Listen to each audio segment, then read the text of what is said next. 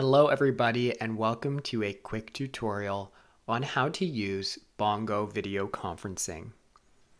This video system will be used in some of your classes and so this is a quick tutorial on how to navigate through it as well as to find some additional resources to help you out. The first thing you need to do is log into your UWaterloo Learn account.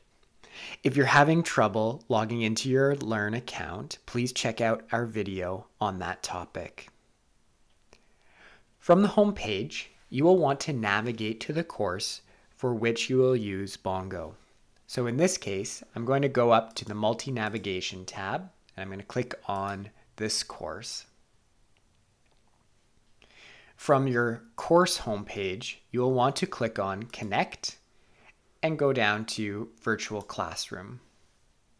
If this is the first time that you're launching Bongo, you'll need to click on Launch Bongo. If you're using a browser other than Chrome, Firefox, or Edge, the Chromium version, you will receive this pop-up. We recommend that you do use one of those browsers for the best experience.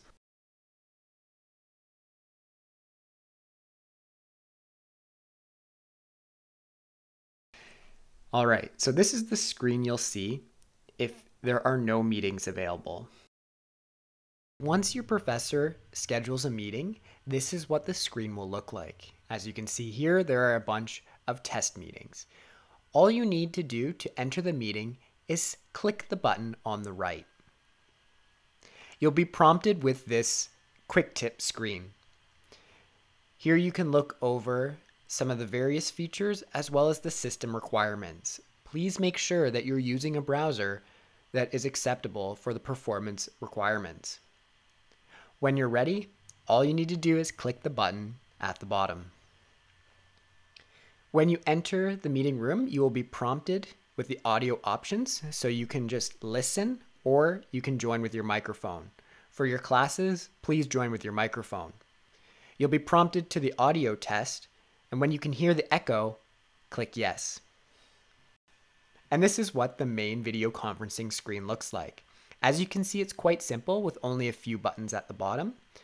The first are the audio options for muting and unmuting your microphone. Next is leaving the call audio altogether. And if you accidentally click that button, just click it back again. You'll be prompted with the echo test and you can go through that. Finally is sharing your webcam. All you need to do is click on the webcam icon and you're ready to go. In some instances, the professor will enable drawing controls. You can find those drawing controls on the right hand side. This is useful for drawing on the actual slides themselves.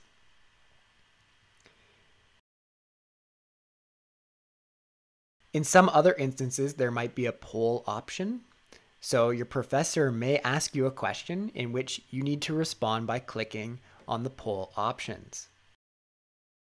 On the left-hand side of your screen, you can also see options for chatting, both the private and the public chats. You may be using those throughout your classroom session.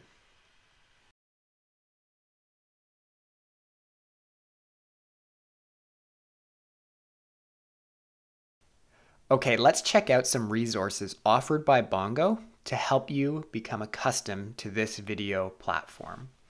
So from this main screen, you can go over to the three dots, click on that, and go to Help. This will open up a brand new tab, and as you can see down here, there are various options for supplemental learning. The main interface that you will be using is the virtual classroom that we just discussed. But if you need some more tips and tricks, you can click on this tile here and you will see everything you need to know about all the various features within that virtual classroom.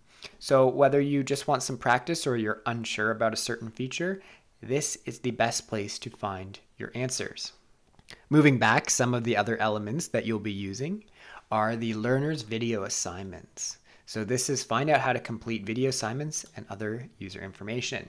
So as you can see, there's a lot on here to go through and we recommend you just take an afternoon or so and go through all these articles so you can see how to use all the features. Lastly, if you're having any technical problems, you may wish to navigate to the requirements and troubleshooting guide.